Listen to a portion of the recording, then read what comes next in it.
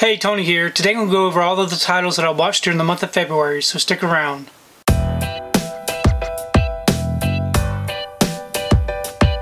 Hey, Tony here. Today I'm going to go over all the titles that I watched during the month of February. I was able to watch at least one film every single day.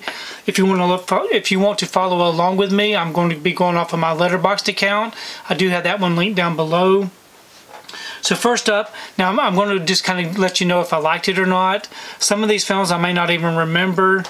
Um, but I at least I have it logged on my Letterboxd account so I can at least tell you if I liked it or not. So first up, um, I watched Suspect. This right here um, has Cher and Dennis Quaid in it. Really good film. Um, I gave it two stars and a heart. Um, but overall, I've really enjoyed it. Definitely recommend you check it out. Next up, I watched Murphy's Law. Um, this one I gave two stars, no heart. It was okay for what it was. It was a little bit long um, and slow. I really had a hard time getting into it. Next up, I watched House on the Edge of the Park. This one I gave one star, no heart. Um, this right here was a home invasion type film. Um, it, I, I just couldn't get into it was a little bit over the top. I didn't really care much for it. Then I watched this Arrow release for um, Bloodhound. I've had this one in the collection for a while. I gave that one two stars, no heart. It could have been so much better. I thought it was going to go in one direction, but it never did. Um, overall, I thought it was a pretty good story, but never got to where it needed to go for me. Okay, next up I watched The Deeper You Dig, another Arrow release. I gave this two and a half stars and a heart. Really enjoyed this one. It was really dark and moody. Um, really good story. Highly recommend you check that one out. Then I watched another Arrow release, um, The Passion of Darkly Noon.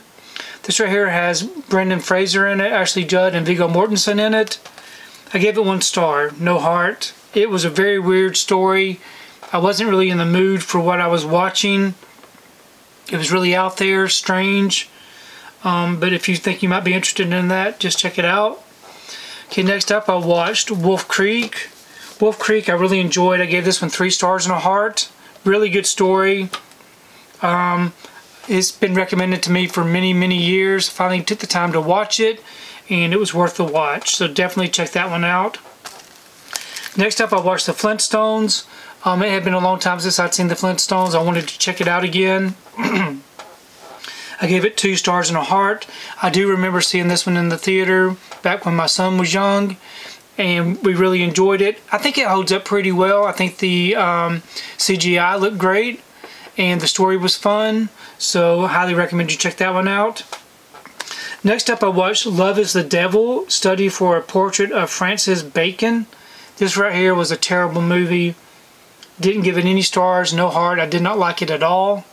Um, someone had recommended this for me, and off of their recommendation, I watched it. But I do not recommend anybody else watch it. It was not good for me. Next up, I watched Fargo. Fargo gets four stars and a heart. I really love Fargo. It had been a long time since I had seen Fargo, and I wanted to check it out again. And it was amazing as always. Highly recommend that one. Next up, I watched The Last Stand. This right here was another recommendation. I had never seen this one before. Already had it in the collection. This one got three stars and a heart. I really enjoyed it. Great action film, great story, great characters. Um, highly recommend you check it out. Next up, I watched another Arrow release, Fear is the Key. Um, this one I gave two stars, no heart. I don't really, couldn't, it was, it was car chases and story, the story was about a kidnapping and I don't know. It was really dated. I, I didn't. I couldn't get into it. I didn't really enjoy it, so I do not recommend it. Okay, next up, I watched this three film collection over the next three days. I watched Open Water. I gave it two stars, no heart. I enjoyed it for what it was, but it was very poorly acted, and I just didn't enjoy it. Um, part two, which was Open Water Adrift, I gave two stars and a heart. I really enjoyed that one. That one was a. I think that was the one where I, I, can't keep them all separated. Anyways, it got two stars and a heart. I really enjoyed that story. And then the third one was Cage Dive. I gave it one half star. It was terrible. I didn't like it. So out of, out of all three of these films, um, just the second one was good for me. The, overall, they were okay. There wasn't enough shark in any of these films. Um, and the only one that was decent was the second one. Okay, next up, I watched Bad Lieutenant. This right here was another recommendation. I gave it one star, no heart. Um, this one had been recommended for quite some time. I finally took time to watch it, and I didn't care much about it. Um, I think Harvey Keitel, I believe that's who that is, did a good job, but the story wasn't for me, so I didn't really enjoy it. Next up, I watched The Towering Inferno. This right here is a 70s watch. I gave this one two stars and a heart. I enjoyed it for what it was.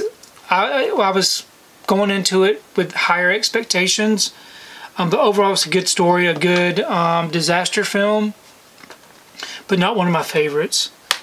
Okay, next up, I watched The Marvels.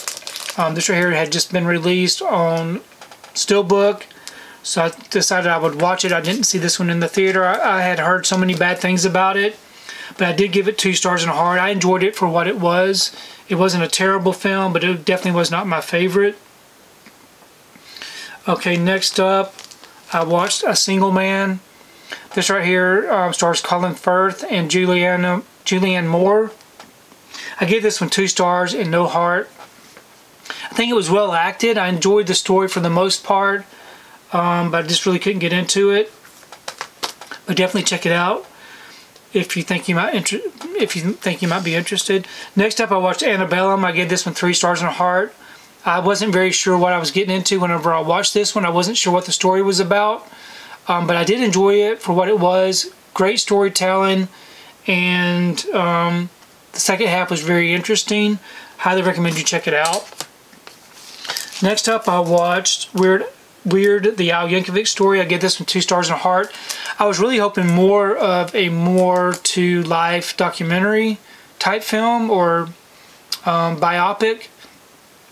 But I didn't like the way that they took. I didn't like the direction that they took on this one. It wasn't true to life, over exaggerated. But as far as the story goes, it was okay. I wish it would have been more closer to the real story. Um, next up, I watched 10 to Midnight. This one got two and a half stars and a heart. This right here was another recommendation. Really enjoyed this story. It's a really good thriller, and I thought it was very well acted, and it kept me entertained. Next up, I watched Bug. I gave this one two stars, no heart. This right here was a weird story. Um, it had Ashley Judd in it, and someone else I don't even remember. Um, but either way, it was weird, and I don't know, chaotic. Had a hard time getting into it. So it got two stars. Next up I watched Darkman for the first time. I had never seen this one before. Really enjoyed this one. Great story. Um, it was dated, but still the story was great. And I really enjoyed Liam Neeson's performance. Highly recommend you check it out. Next up I watched Five Nights at Freddy's. Um, that one got two stars, no heart. I was really hoping for more of the violence and more of the kills and it just never got there for me. Maybe the sequel will do more, I don't know. But overall, it was just okay. Next up was another first time watch, and that was for The Last Castle. This one got four stars and a heart. I love this film. I can't believe I never heard of it before until this release.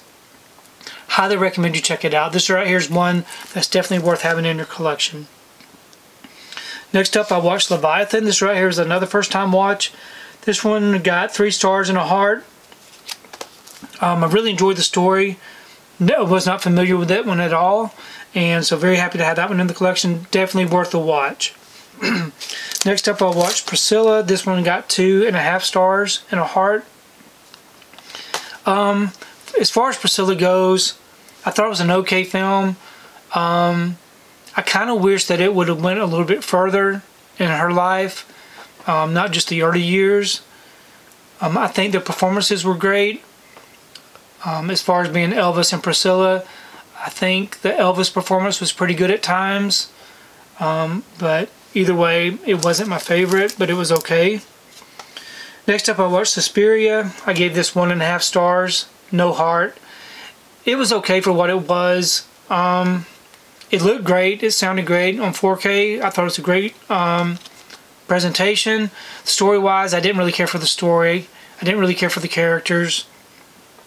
So I, you know, it wasn't one of my favorites. Then the last one was a second time watch. I hadn't seen this one since the theater, and I watched Room. Really enjoyed this film. Great performances by everybody involved. Great story. Um, I gave that one three and a half stars and a heart. If you've never seen Room before, definitely check it out. It's worth the watch.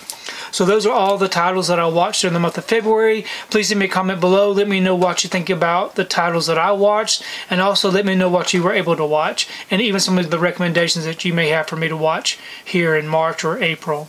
If you like what you saw here today, please give a thumbs up and share the video. If you haven't subscribed to my channel, I really appreciate it if you would subscribe. If you do subscribe, please remember to hit that notification bell so that you can be notified every time I upload a new video.